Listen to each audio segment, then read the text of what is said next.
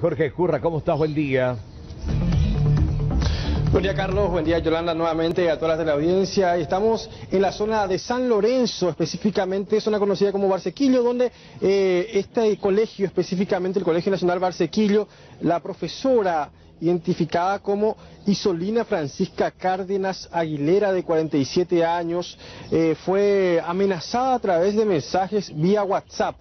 Eh, una persona desconocida le había enviado ya el pasado lunes mensajes en el que le intimaba a que eh, le pusiera buenas calificaciones, que por lo menos un alumno X pasara de grado por lo menos en esa materia que ella tiene dentro de esta institución educativa y finalmente se ha logrado identificar a la persona que habría enviado eh, los mensajes de textos en el que inclusive además de la amenaza enviaron fotografías de arma de fuego.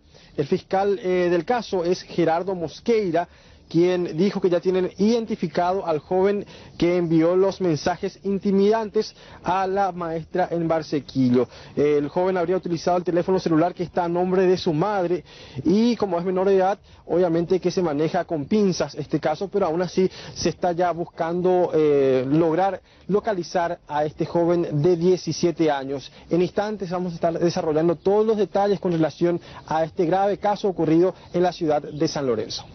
Gracias, Jorge. Excelente. Vamos a retomar la comunicación para tener más detalles en instantes nada más. Pero ahora les quiero